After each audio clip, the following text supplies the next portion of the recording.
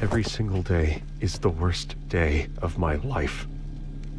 It just keeps getting worse and worse. Every day, I step over junkies and, and human waste on my way to my third job just to make a, a dent in my mountain of debt. The planet is dying. The rich, the rich own everything. We keep killing each other for no reason. I'm ashamed to be a part of this world. I give up.